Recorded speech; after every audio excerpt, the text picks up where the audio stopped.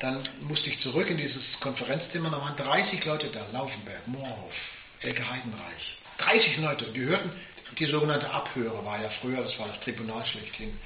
Und dann hörten sie am Anfang einen anderen ab und dann mich. Also Probemodulation, die junge Mann ist hier und äh, dann möchte sich bewerben, und bitte Ihr Urteil. Dann haben Sie diese Probemodulation gehört. Vor den ganzen Leuten. Der, also Aircheck heißt das woanders, ja, Abhöre ja, beim Silvester. Fieber. Ich habe das, Ach, das, das, das, aus, ne? das war's dann. Und äh, man sagt, hätte ich gern gemacht, Radio Scheiße. Ne? Na.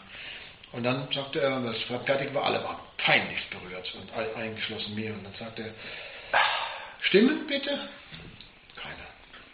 Keiner hat was gesagt. Das war keine Zivilcourage. Ne? Die hatten, die hatten alle, würden, hätten sie gerne gesagt, haut der Depp in die Falle her, aber schnellstens, ja, wieder raus hier. Kein Mensch. Und da hat der Stockinger, der hat ja was gerochen. Was, der hat ja so ein Gefühl, ein Feeling gehabt. Er sagt, ja, also, wenn Sie keine, keine Stellungnahme dazu machen, dann entscheide ich.